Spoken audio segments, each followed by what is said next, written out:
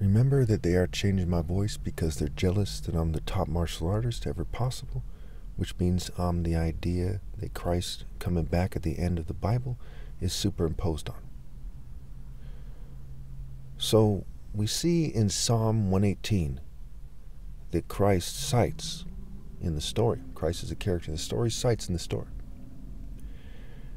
He says, Have you never heard that the stone the builder rejected has become the chief cornerstone, right? So the stone, right, the rock on which you built the church, uh, the stone that was used to kill Goliath, okay, people getting stoned to death, right? The foundation who lives and dies, you know, in, in God's eyes, right? Who spiritually lives and dies, uh, you know, that that humanity rejected the foolish builders, the Freemasons, the churches, the governments, every group that you see. The stone the builders has rejected has become the chief cornerstone. I am the stone the builder has rejected.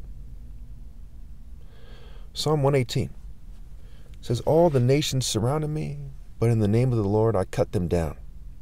They surrounded me on every side, but in the name of the Lord I cut them down.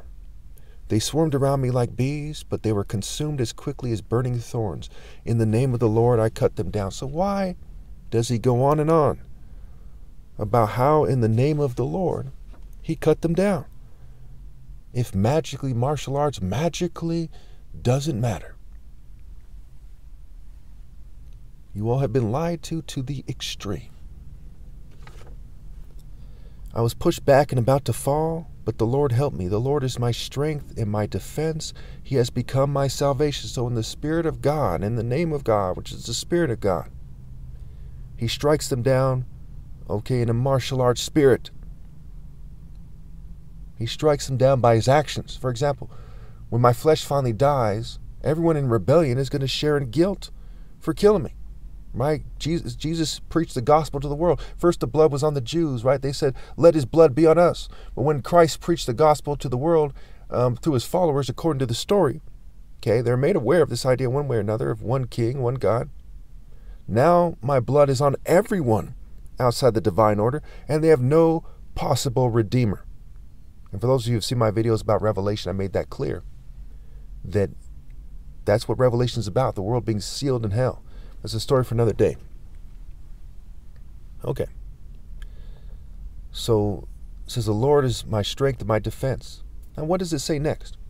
It says shouts of joy and victory resound in the tents of the righteous. The Lord's right hand, right, right hand, righteous, has done mighty things.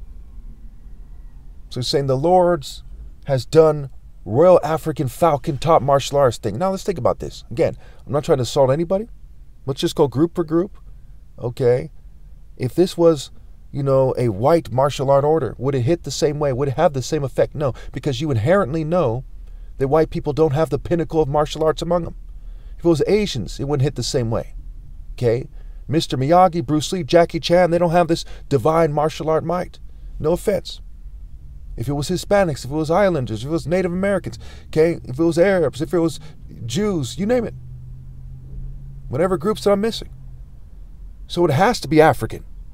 It's like the sun is referred to the bridegroom, not just another star or a tree or, or a rock. It said the sun is the symbol of the bridegroom. Okay, so we know it's a Royal African Falcon martial art order. You know by their works, by the spectrum, you know by who's being sabotaged the most, you know for many reasons.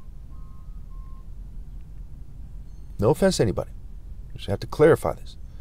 So it says, Shouts of joy and victory resound in the tents of the righteous. The Lord's right hand has done mighty things. The Lord's right hand is lifted high. The Lord's right hand has done mighty things. Right? It's lifted high, it's exalted. So, how would a, a person be exalted over everyone else? By doing the martial art acts of God. And we see in Matthew 5 that means he'll be persecuted according to the Bible and the people who reinforce that scripture. We see in, in Paul's letters, all who wish to live a godly life in Christ Jesus will be persecuted. Christ, is the character in the story, said, They persecute me, they'll persecute you too. No servant can be greater. Pretty straightforward.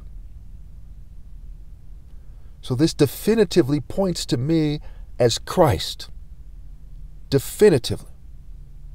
And when we get into Psalm 65 and Psalm 66, you'll see that it flat out says that this is how God communicates to them through the top martial artist. It says it almost in those words how clearly it's saying that. A lot of people, when they're reading through this, they overlook it. And I probably overlooked it the first time I read it or so. Okay, but it's pointing right to that.